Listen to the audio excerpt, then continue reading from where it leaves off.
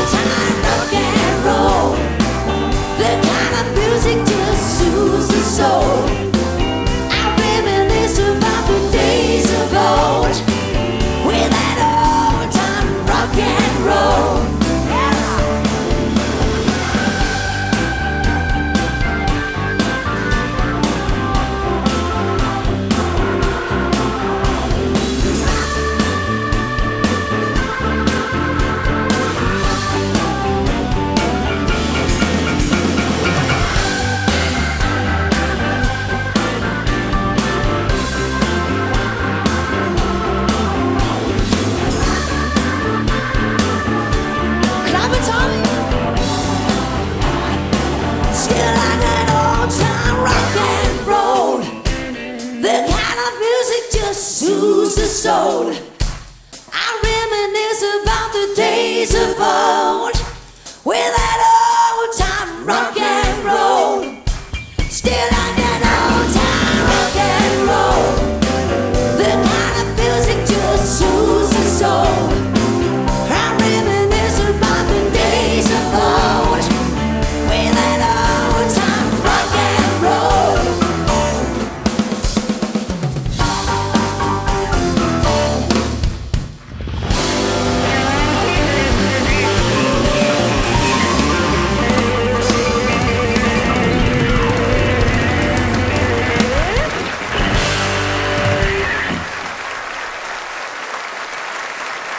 Tak for det.